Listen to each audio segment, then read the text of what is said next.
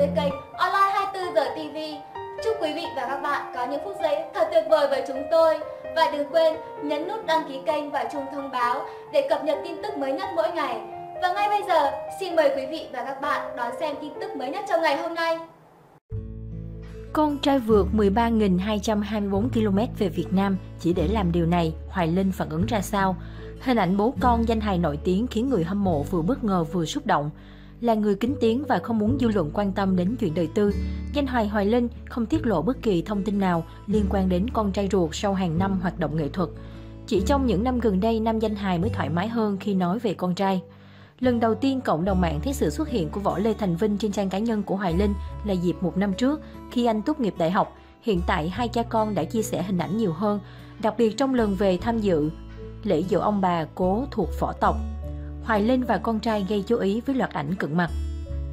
Nhân dịp sinh nhật Hoài Linh chiều tối ngày 18 tháng 12 vừa qua, con trai Thành Vinh từ Mỹ về Sài Gòn cùng Dương Triệu Vũ và người thân tổ chức bữa tiệc bất ngờ dành tặng danh hài.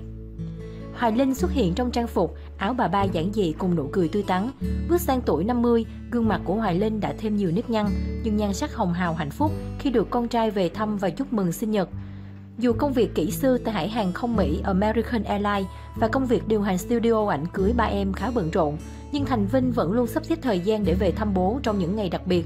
Anh tranh thủ làm việc online ngay trong thời gian di chuyển và về đến Sài Gòn cũng tiếp tục tham gia các cuộc họp bên Mỹ thông qua mạng Internet.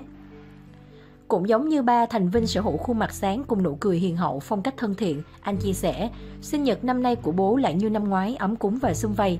Điều lớn nhất của con có thể chúc bố là sức khỏe, vì không có gì có thể thay thế được sức khỏe. Món quà ý nghĩa mà năm ngoái con tặng bố là tấm bằng đại học chuyên ngành kỹ sư.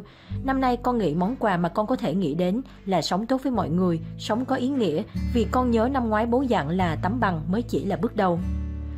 Ngoài lời chúc ý nghĩa này, Thành Vinh mua tặng ba một chiếc máy iPad để phục vụ liên lạc cho giữa hai cha con, đồng thời để xem clip giải trí những lúc rảnh rỗi. Con trai Hoài Linh tâm sự, bố tôi là người thường không biểu lộ cảm xúc ra ngoài, mình chỉ làm trong tâm là bố cảm nhận được. Hiện tại Thành Vinh sắp bước sang tuổi 30 nhưng vẫn chưa lập gia đình. Khi được hỏi về dự định về Việt Nam đoàn tụ gia đình hoặc đón bố sang Mỹ định cư, chàng kỹ sư trẻ cho hay, tương lai thì không nói trước được, nhưng nếu duyên số chỉ dẫn đường mình đi đâu thì mình đi đó. Tuy nhiên chắc chắn một điều rằng Vinh sẽ không bao giờ từ bỏ ngành hàng không và lĩnh vực ảnh cưới. Thành đạt ở Mỹ nhưng Thành Vinh hoàn toàn độc lập trong sự nghiệp, không dựa dẫm. Ba về kinh tế, khi được hỏi có chịu ảnh hưởng phong cách sống hay có ý định nói tiếp các hoạt động từ thiện như Hoài Linh hay không, Thành Vinh thẳng thắn. Thường thì làm từ thiện người ta không nói ra, hơn nữa tôi nghĩ mình làm gì mình cảm thấy có ích giúp ích cho xã hội cho mọi người là được.